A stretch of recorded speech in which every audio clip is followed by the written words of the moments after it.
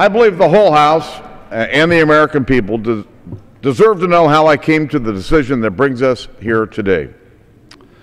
On September 11, 2012, a terrorist attack on our consulate in Libya left four of our countrymen dead, including our ambassador.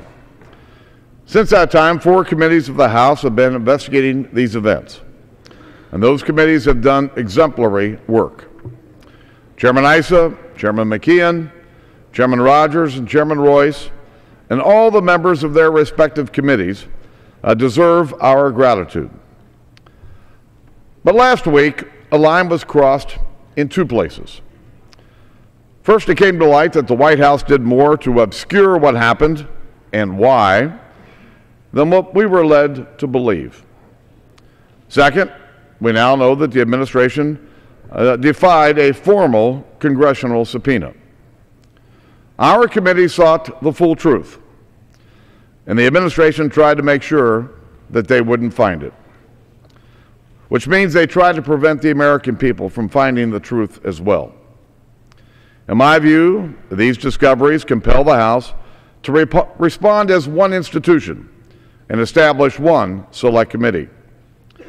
A committee with robust authority, a committee uh, that will do its work while the House continues to focus on the people's priorities. I've asked Mr. Gowdy. He's a well respected member of this body, and he has my complete confidence. And I will convey to you what I conveyed to him.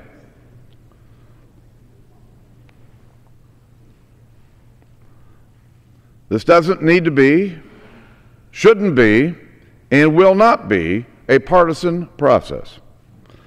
Four Americans died at the hands of terrorists in a well coordinated assault.